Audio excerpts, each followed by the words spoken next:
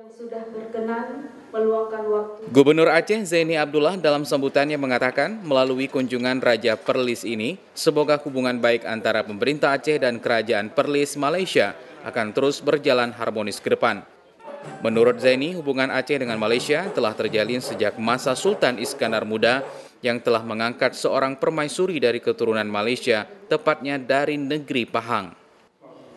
sangat kami harapkan untuk bisa memberi dukungan bagi penguatan sumber daya manusia di Aceh dan mendorong Universitas Ubudiyah menjadi salah satu prestigious university di Indonesia yang selanjutnya sebagai world class university.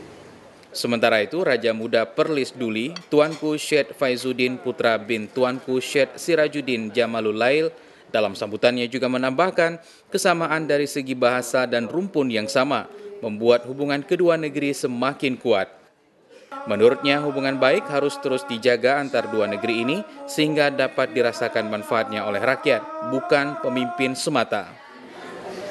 Pada tahun lalu Unimed telah melantik Bapak Dahlan Iskan yang pada ketika itu Menteri Badan Usaha Milik Negara sebagai profesor tamu.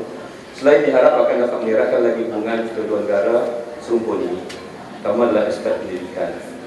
Kunjungan Raja Muda Perlis ke Aceh juga diikuti rombongan dari University Malaysia Perlis yang akan mengadakan rapat kerja dengan salah satu universitas swasta di Banda Aceh. Gubernur Aceh mengharapkan dengan terjalinnya hubungan silaturahim ini akan lebih dapat mempercepat pembangunan di Aceh khususnya di bidang pendidikan, membangun sumber daya manusia yang lebih cerdas dan terampil sehingga Aceh siap menghadapi isu masyarakat ekonomi ASEAN. Nurdiansyah, Antero TV, Banda Aceh.